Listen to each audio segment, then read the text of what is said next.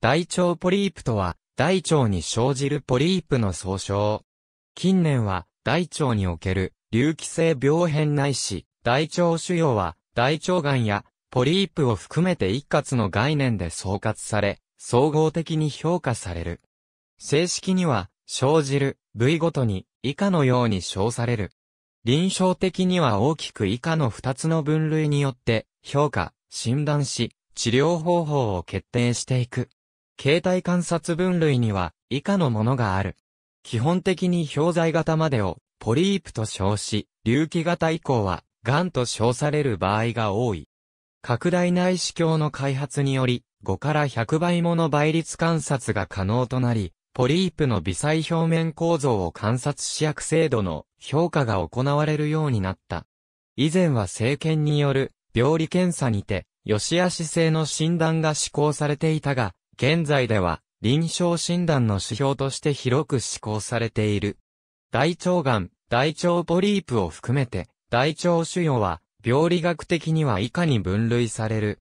感情選手挙市場選手量正常非正主要選手、感情選手感情重毛選手重毛選手挙市場、選手家族性大腸選手小悪性上非性、主要腺がん内分泌細胞がん腺扁平上皮がん、扁平上皮がんカルチノイド主要非常非性主要。平なめ筋、主要神経性主要ジスト脂肪腫リンパ腫、B 細胞性リンパ腫 T 細胞性リンパ腫、保持筋リンパ腫分類不能の主要転移性主要、非主要性病変家系性性ポリープ、家系性結節若年性ポリープ、ポリポーシス本校では主に大腸ポリープ、早期大腸がんに対する治療について記述する。大腸がんに対する治療は大腸がんの記述を参照。大腸がんの発生基準として、多くの場合、アデノマカルシノーマシークエンスと呼ばれる理論が考えられており、そこでは、選手から癌が発生してくることが想定されている。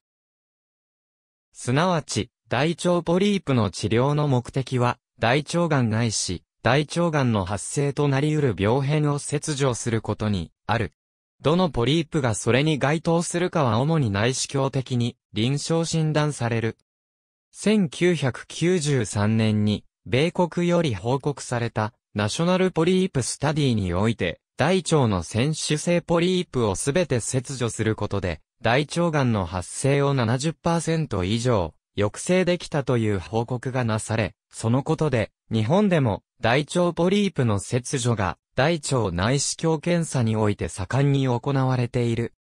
ただ、日本では国立がん研究センターが中心となって、ジャパンポリープスタディが報告され、また、大腸ポリープ診療ガイドライン2014が公表されており、 de novo 発生がん等も考慮され、適正な切除治療と大腸内視鏡検査が推奨されている。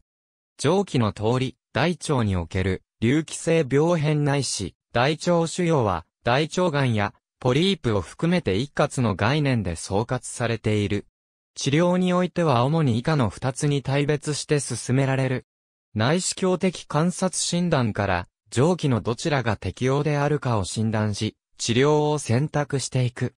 大腸ポリープ、早期大腸がんの治療法には大きく以下の三つの治療法が存在する。病変の形態、大きさによってそれぞれ治療方法が選択される。ありがとうございます。